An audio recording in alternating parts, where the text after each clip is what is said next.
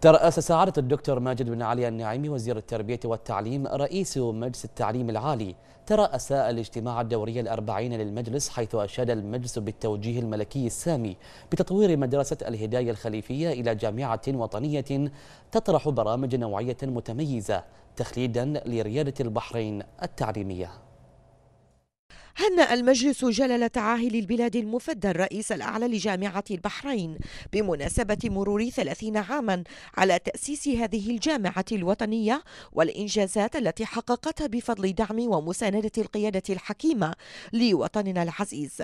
هذا واستعرض المجلس عددا من الموضوعات الواردة في جدول الأعمال من أهمها تخويل الأمانة العامة لمجلس التعليم العالي بدراسة طلبات إنشاء جامعات خاصة بتحويلها بعد الدراسة الدراسة إلى اللجان الفرعية المختصة وذلك في ضوء تلقي الأمانة العامة المزيد من الطلبات من عدد من الجامعات العريقة. اتخذ المجلس العديد من القرارات ومنها أيضا اعتماد التقرير الخاص بالاعتماد الأكاديمي لعدد من مؤسسات التعليم العالي. كما ناقش المجلس اليوم العديد من القرارات ومنها اعتماد التقرير الخاص بالاعتماد الأكاديمي لعدد مؤسسات التعليم العالي في مملكة البحرين وأشاد المجلس بهذه الخطوات وما تحقق على هذا الصعيد.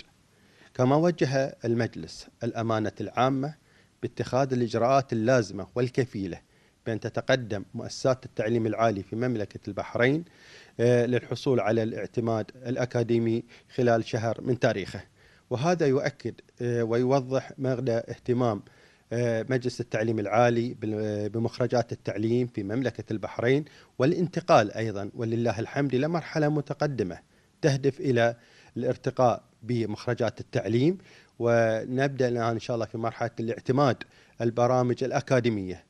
ولا شك أن ما تحقق يؤكد المقدار الجهد الذي بذل من قبل المجلس لتطوير مسيرة التعليم العالي وتمت الموافقة على مقترح ربط الضمان المالي لمؤسسات التعليم العالي بالطاقة الاستيعابية للمؤسسة وذلك حفاظا على حقوق الطلبة وأولياء أمورهم ومصالح أعضاء الهيئتين الإدارية والأكاديمية في الجامعات.